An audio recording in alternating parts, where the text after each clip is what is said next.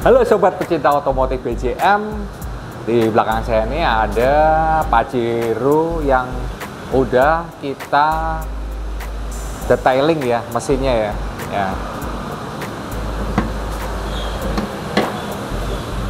Nah jadi kenapa sih perawatan mesin itu atau perawatan engine ini sangat penting ya yang pertama adalah pembersihan di kerak-kerak ya. Jadi perawatan ini fungsinya adalah selain kita juga akan mengetahui adanya kebocoran-kebocoran atau kerusakan-kerusakan di dalam mesin, kita secara nggak langsung juga uh, membuat mesin ini jadi lebih fresh ya, alias kita juga care. Oh, nih bautnya ada yang luka nih, ada yang lepas satu atau mungkin ada apa di dalam sini yang kabelnya yang putus atau apa ya.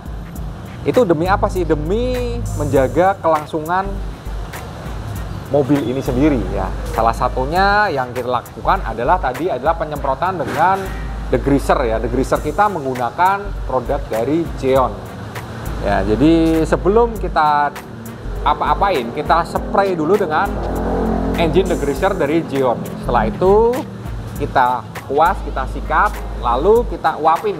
Ya, kita uap agar kerak-keraknya dia hancur luntur semua. Setelah itu kita bersihkan dengan uh, pemanas atau sprayer tapi ada udara panasnya ya. Jadi supaya apa? Supaya begitu kita spray eh kita blower dia langsung kering ya jadi nggak akan meninggalkan kerak.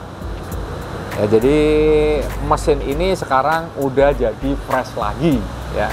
Jadi buat teman-teman yang nggak pernah atau bahkan nggak nggak aware tentang engine ya.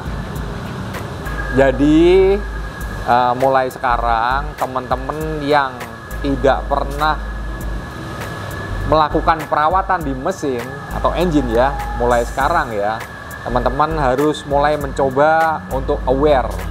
Jadi bersihkan enginemu secara berkala minimal tiga bulan sekali ya supaya kesehatan dan segala macam uh, kelistrikan kabel-kabel dan lain-lain baut-baut oli rembes dan apa pun yang terjadi ketahuan terlebih dahulu dan itu lebih baik daripada kita sudah terlambat.